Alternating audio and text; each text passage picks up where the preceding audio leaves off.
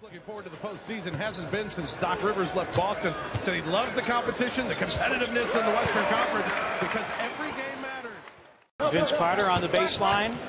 Around a screen, fadeaway foul line jumper, too strong. Kosta Koufos, offensive rebound on the putback.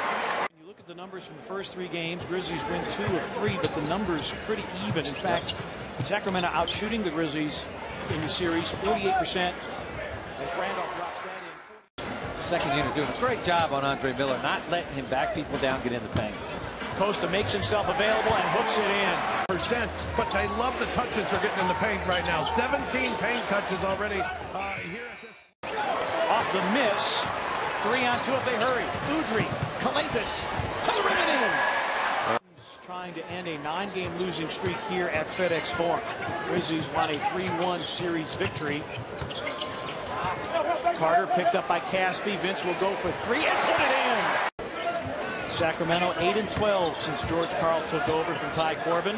Casspi with a turn and gun that won't go. Tip rebound. There's Landry, but he can't. Would have been Sacramento's basketball.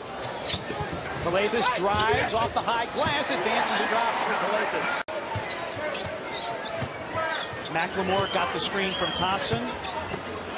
Andre Miller blocked by his old Denver teammate Kosta Koufos atop the West. And it's a, it's a different dynamic when you are being the hunted rather than, the hunter, which the Grizzlies have been virtually throughout their existence. Koufos with a spectacular block of Williams.